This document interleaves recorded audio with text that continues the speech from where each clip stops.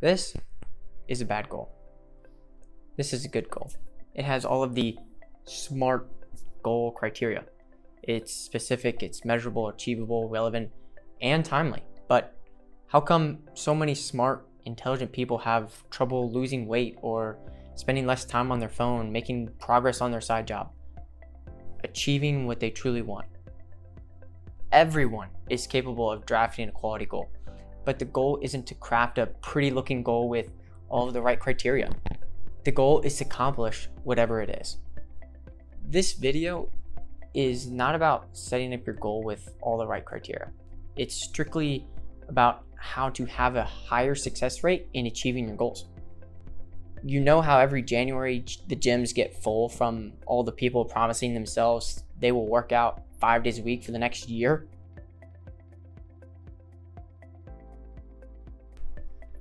Use these 10 tips I'm about to tell you to not be one of those people who cancel their gym membership in February.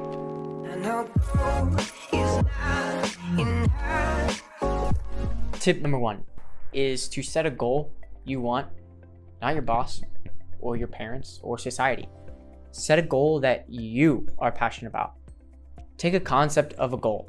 You maybe want to make more money, get a job, start a YouTube channel, learn to play the piano, lose weight, whatever it is, take it and ask yourself three why questions. Question number one Why do I want this? Question two is the answer from the first question my actual why, or is there a deeper reason? And question three, how would my life and those around me change if I accomplish this goal? The point is to get below a surface answer. So spend some time on this. I'll give you a personal example. My goal by January 1st, 2022, I will have an average passive income of $5,000 a month. Answer to question one I want more money to buy things and not be a slave to a job. Second question. I guess I don't actually want more money. I what I truly want is great experiences with great people. And I believe that a passive income will provide time freedom and freedom from bad stress and also freedom to pursue my passions with friends. That's what I truly want. And then the answer to question 3, I wouldn't have the stresses I have now I would be happier. I would be able to help more people with my free time, visit family and friends often, and be able to expand my bucket list to maybe even two pages and have more time to start nonprofits and businesses. These are the things I want. If all that isn't a good enough reason for me to achieve my goals, I don't know what would be. If you are serious about change and achieving your goals, Ask yourself these three questions right now and write them down.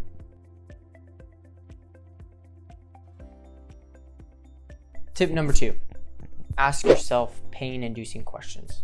Now, hear me out. Ask yourself, what will this cost me if I don't change or reach my quota? Lose the weight, get the girl, spend more time doing X, whatever it is. Will it cost you a marriage?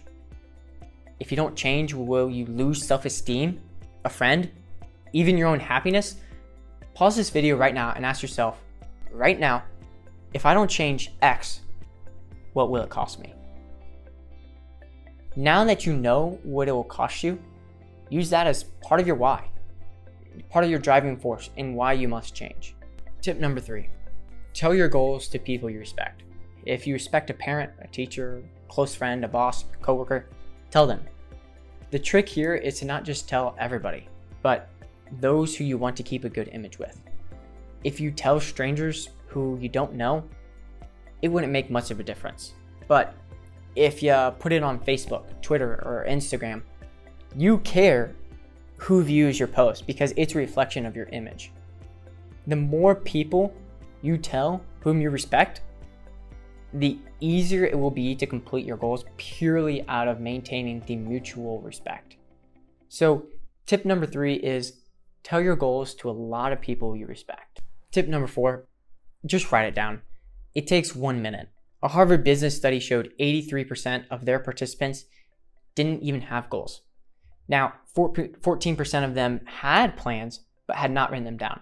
And the study found that this group, the 14%, was actually 10 times more likely to succeed than those without any goals, the 83%. then the other 3% had written down their goals. And they were three times more likely to succeed than the group who had some plan in mind.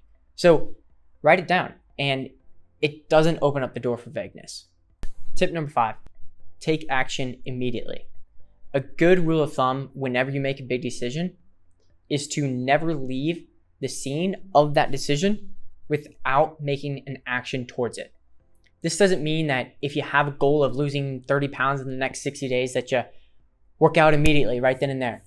An action could be as small as intentionally looking up exercises to do and then print them out or buying a membership to the gym.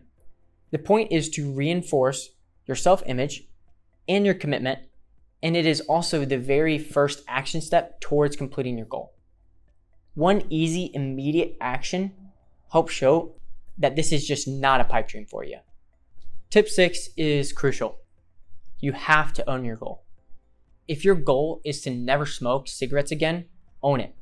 Create an identity around yourself as a person you are working towards, a non smoker. We'll use quitting smoking as an example. So, someone walks up to you and offers you a cigarette. You can either say, A, no thank you, I'm, I'm trying to quit, or B, no thank you, I'm not, just not a smoker.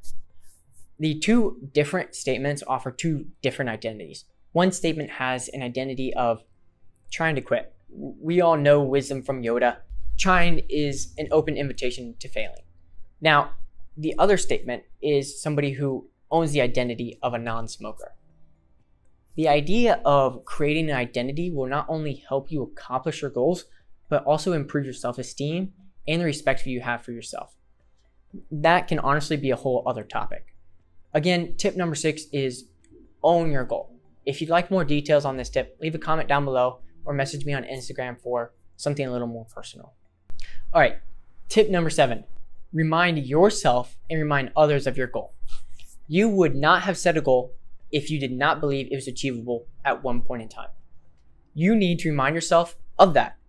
Hold on to that feeling you first had when you set that goal. It's a great feeling. You were probably amped up, excited for what was going to come, it's not you wanted it, you still want it. We are all human. We forget. Sometimes we even forget the important things. After you have written down your goals, tape them to a wall, and before you get your day started, read them every day. It'll probably take one minute. And if you're the type of person who says, I don't have one minute in my day to read something you want to achieve that you're passionate about, and you have a strong why, you're a fool. So get creative reminding yourself and your goals you can write your goals and put them on the fridge or even record yourself speaking them and play them in your car on your way to work. And then when you get to work, tell those you respect how your goals are coming along. Whether it's good or bad news, they are your support team and want what's best for you. They're going to help you. Also, part of reminding others is telling them your new identity. This might be a bit weird at first, but if you live a grumpy life and your goal is to smile in the mirror for two minutes every day for the next 30 days, let's just say. Because of your desire to be happier, you can also just start by telling those you respect, I'm the happiest I've ever been in my entire life. Or I'm just so happy today. Speak it into existence. I know it sounds cheesy and, and awkward, but let people know. Strengthen your identity. So remind yourself and others of your goals. Tip number eight personalize your goal. Now that you have written down your goal, personalize it by writing something of the likes I will have a thousand extra dollars in my account by the end of the month. I will stop smoking within the next three months. I will take my wife out to dinner once a week. You want to speak in first person and also use strong language such as will. Remember Yoda again? Yoda says there is no try. So when you write down your goals, personalize it and use strong language because you will get that promotion. The girl, the body. You will stop eating Twinkies, being impatient, or smoking.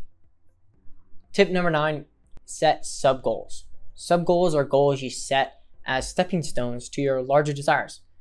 If your overall goal is to, let's just say, find the love of your life and propose within the next two years, what are your sub goals going to be between now and the next month? or maybe even six months. And after you've taken that step and reached that sub goal, set the next sub goal for the next month. And now you're probably thinking, ah, geez, I don't I don't want to have to make more goals. The, the ones I have right now are, are hard enough and I, I don't need to write them all out. Let me tell you this. It is rare. It is a rare person who accomplishes anything challenging without a plan. And sub goals are a part of that plan. Set sub goals and get excited about them because that means you're just one step closer to what you've always wanted. Tip number 10, the last tip have an accountability partner. You can tell your friends and family and anyone else you respect, but choose one to two people to check up with you and your goals.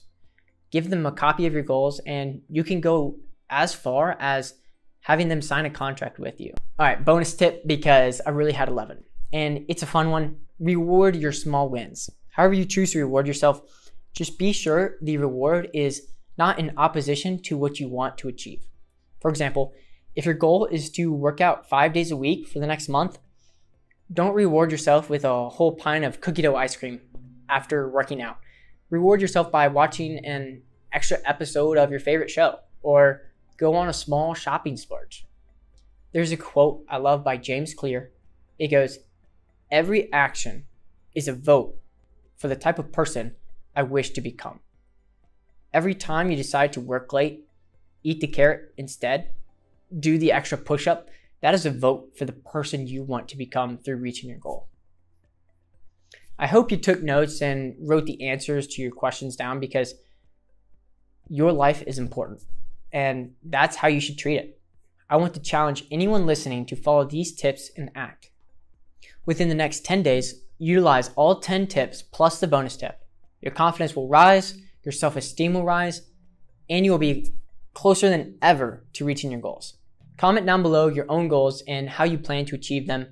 I would really like to hear all the different passions, ambitions everybody has. If you'd like to see more of this type of video, please consider subscribing. Guys, there is no magic one piece of information. As bad as both you and I want there to be one, there isn't. You now have the knowledge to make a good goal and actually execute it and actually accomplish it. Remember, knowledge isn't power. If it was, librarians would rule the world. Remember, knowledge is only potential power. You must act on it. You can see more of my personal life and passions on Instagram at BannerPlumb. Till the next video, be good.